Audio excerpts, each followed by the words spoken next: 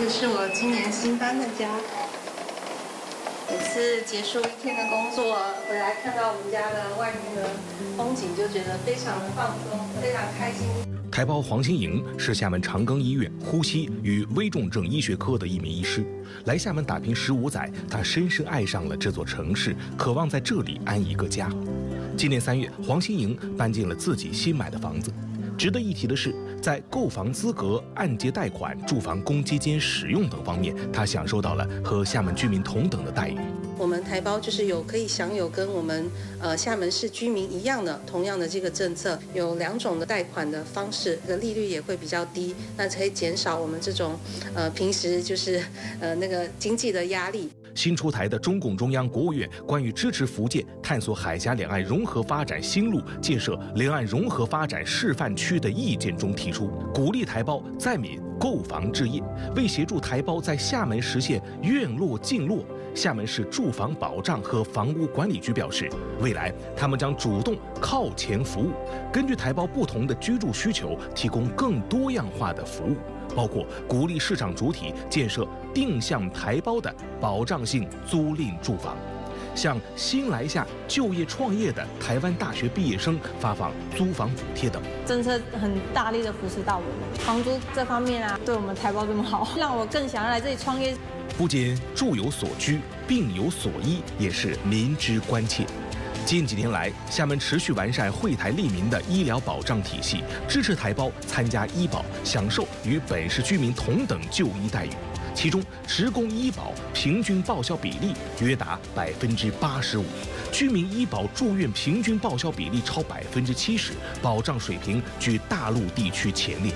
截至目前，厦门已设立八家医保台胞服务站，实现六区全覆盖，在厦参保台胞近六千人。我长期定居在这个厦门，这张卡就是我的护身符了。厦门市医保局表示，下一步将按照意见精神，持续完善台胞在厦就医制度保障，协同相关部门优化配套措施，让台胞享受快办、易办、好办的医保服务。我们也持续的这个提升对台胞的医保服务能力啊，包括在线上，它就可以所实现所有的这个医保。服务业务的这个全程网办。四季如春、环境优美的厦门，被许多人选为最适合养老的城市。兴隆社区是厦门最早的对台服务试点社区，有许多老台胞就居住在这里。六十六岁的台胞熊奇已经在这里居住二十七年。他说，社区所有的公共场所、服务设施都对台胞同等开放。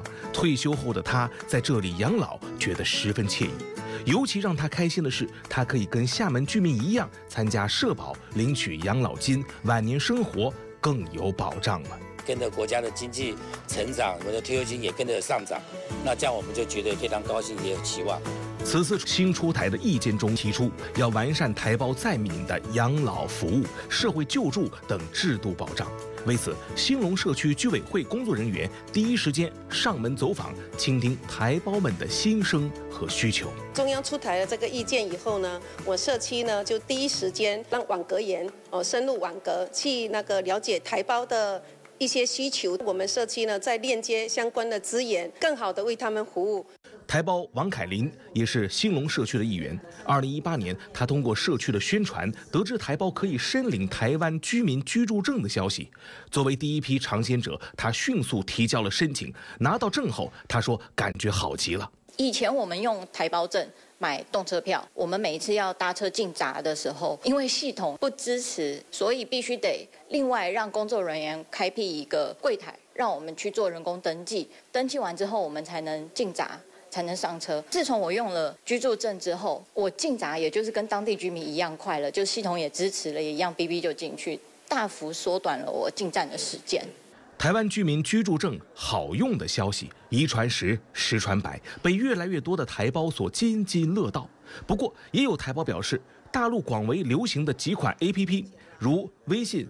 抖音、支付宝等的个别功能暂未对台胞开放，也暂不支持以台湾居民居住证作为身份核验许可。直面台胞所判，新出台的意见中强调，要扩大台湾居民居住证身份核验应用范围，努力实现台湾居民居住证与大陆居民身份证社会面应用同等便利。台胞们对此充满了期待，办证的动力也越来越大。就在意见颁布的半个月之后，四十五位金门乡亲搭乘小三通客轮。组团来厦门，集中申办台湾居民居住证，这也是意见出台以来厦门迎来的首个办证团。来一定会更方便，两岸同胞的话更融洽。我们给台胞提供像家人一样的一个待遇，我们也致力在打造就是台胞台企登陆福建的第一家园、第一站。温馨鹭岛，真情满满。厦门持续以工笔画的细致与耐心。勾勒两岸融合发展的美好蓝图，为两岸一家亲、闽台亲上亲画上幸福注脚。